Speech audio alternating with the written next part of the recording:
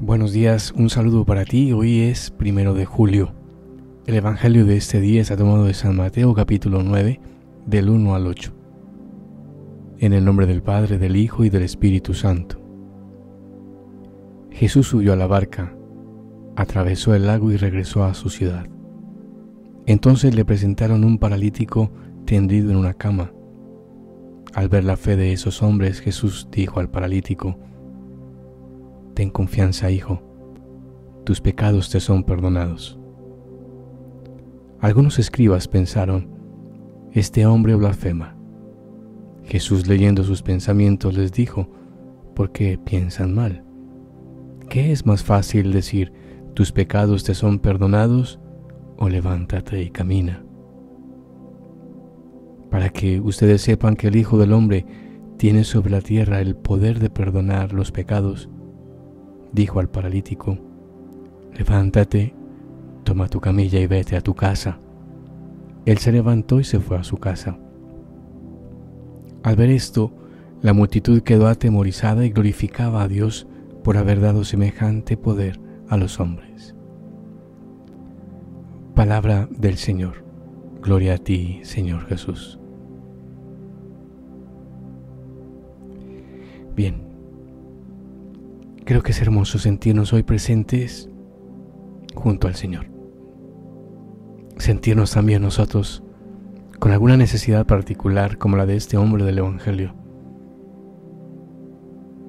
Y quizás implorando un milagro. Pero el milagro como tal se orienta y tiene un sentido muy distinto. Es un signo. Si uno se pone a pensar, Jesús no sanó a todos los enfermos, no purificó a todos los leprosos, no devolvió la vista a todos los ciegos de su época. Hay algunas narraciones, algunos signos y milagros.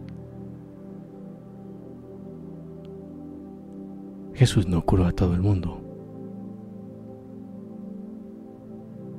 Y como pasa en el Evangelio de hoy, lo que primero Jesús hace y aquí hay que ponerle el énfasis a todo esto, es el perdón de los pecados. Y porque no le creen, hace que el paralítico camine. Si uno tuviese que responder la pregunta de Jesús, la respuesta es clara.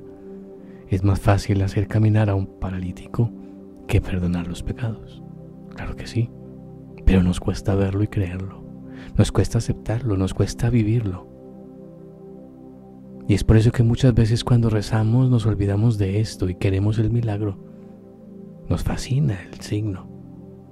Es como si quisiéramos luces de colores que deslumbren. Vamos a rezarle a los milagros de Dios y corremos el riesgo de olvidarnos del Dios de los milagros.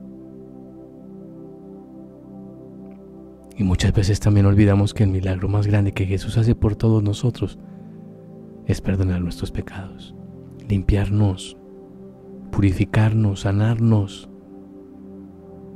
Hay más milagro en esto que en un enfermo que se cure, porque es más grande la salvación que cualquier otra enfermedad, y no hay que olvidar eso. Lo más grande que Jesús hace por nosotros es salvarnos del pecado.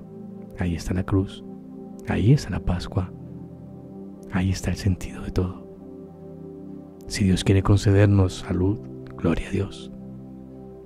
Pero no nos olvidemos que la destrucción del pecado, la oscuridad, el dolor, la muerte, por la pasión, la muerte del Señor y la resurrección del Señor, es más grande que cualquier otra cosa sobre la faz de la tierra.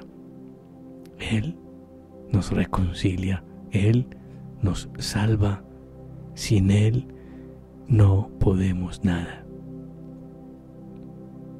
María, auxilio de los cristianos, ruega por nosotros. La bendición de Dios Todopoderoso, Padre, Hijo y Espíritu Santo, descienda sobre ti y te acompañe siempre. Que tengas un bonito día. Un abrazo fuerte.